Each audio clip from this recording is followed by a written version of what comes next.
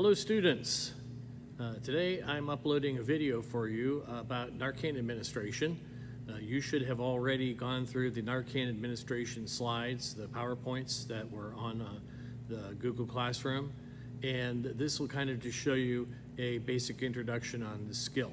Once we get back to class together, together again, we'll be going through a lot of skills and we kind of backed up on them.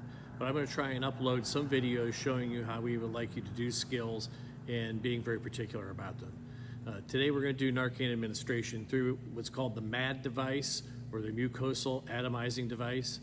The mucosal atomizing device and Narcan are uh, given to us in what's called a uh, pre-filled syringe.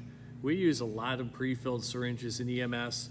We have many medications on the ambulance which use a pre-filled syringe. I got some examples here to show you. Uh, D50, dextrose 50 that we would give to a patient who is having blood sugar problems, comes in a big pre-filled syringe. Sodium bicarbonate. Sodium bicarbonate is used for uh, especially cardiac arrest situations by ALS providers uh, when patients have been down for a long time.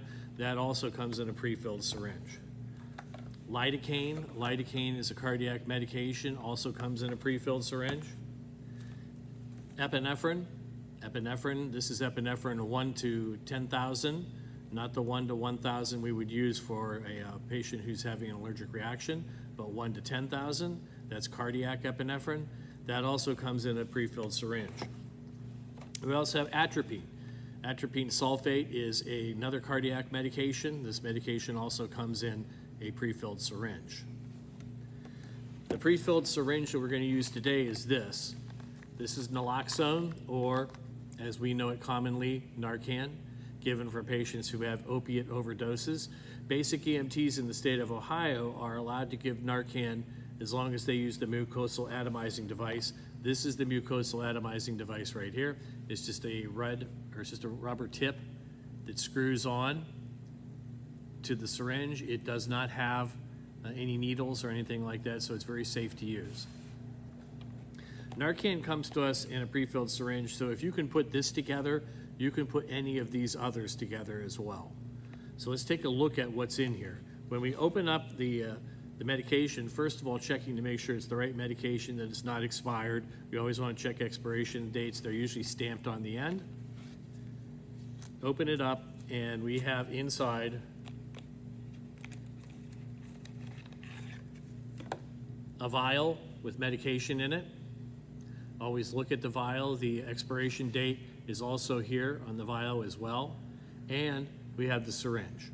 So when we put those two together, we start out by taking the tops off of either one, pop the tops off. And you'll notice that inside here, there's a rubber stopper. Inside this part, there's a needle. It is a sharp needle, I guarantee you. you if you poke your finger in there to see that it's sharp, you're going to get your finger cut. Now, that's going to violate the first rule of being an EMT, which is uh, don't become a victim, because now you poked your finger and you're bleeding everywhere. And most importantly, we can't use this now because you bled all over it, and that patient who needs the Narcan is not going to be able to get any. So don't touch it. Once we've done this, we basically put these two together, this end into here, kind of like docking the space station with the space shuttle. There's the space shuttle over here. Here comes the space station. They're going to dock with it. Give it a couple twists. And now that's all you need for the needle to go through that rubber stopper. You can take this top off, yellow top, and there should be no needle. If you take it off and there is a needle, you need to put that away. It's not in your scope of practice to give IM Narcan, so you're going to need to make sure that you use the uh, mucosal atomizing device. Mucosal atomizing device looks like this. You can see it's got a rubber tip to it and it screws right on the top of the Narcan. Put the two together and screw it on there and you'll notice that when you press on the bottom like a plunger, you're going to get some medication that's going to come out the top there. The way it's designed is for half of it to go up one nose, nostril, the other half goes up another nostril, and you use up the whole uh, vial that way. When we use others, like this atropine right here, I'll go over using that as well too. I look at the top, the top has the date, expiration date stamped on it. I'm going to open that up. And you'll notice that inside are the same things. We have a vial of medication, and we have a device to uh, apply that medication. Works the same way. Pop the top off. Pop this top off here. We have the rubber stopper, and we have the oh so very sharp needle. Put the two together again, twist it, it'll break the seal there, and now medication will come out. You take the top off, and this is what we would use to uh, put medication in what's called a needleless port. Here I have an IV tubing here, and this right here is the needleless port. And very simply, you take your needleless uh, syringe and you screw it on. Now that medication can be pushed through that IV line. Uh, this one right here is called a needle port. It looks a little bit different. You would need a needle to puncture that rubber surface there and deliver medication.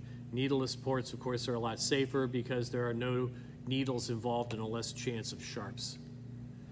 A good hint for you when you're giving medications is to take one of the box tops. In this case, we'll take the atropine and rip that top right off the box.